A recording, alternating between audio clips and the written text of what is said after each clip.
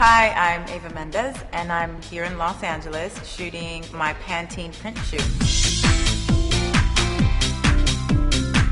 I grew up with Pantene.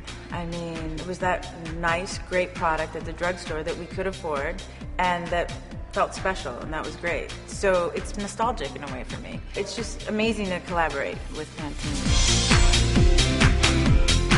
Hi, my name is Michel Court. I'm working with Eva Mendes and we're in Los Angeles at Milk Studios. A lot of pictures, a lot of rolling around, and just kind of letting loose and listening to amazing music that's really inspiring. I've worked with Eva before and there was no stress. I think nobody felt any pressure. I, I think that's why the shoot went so well. I've always been a girl's girl. For me, standing behind products that really, you know, promote camaraderie amongst women is really important to me. I believe that, you know, we can do it all, but we need each other's support in order to do it all.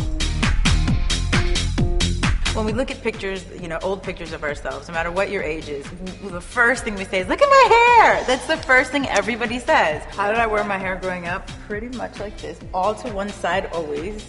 So I'd be like, oh my god, hey you guys. And like the bigger I could get it on one side, the more successful I was.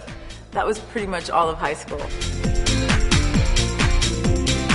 I'm so excited to spread the word. I can't wait to tell people how honest this company is and how there were no tricks on set. I'm not wearing extensions. It was always natural and never manipulated. And I love that. I feel so good about that.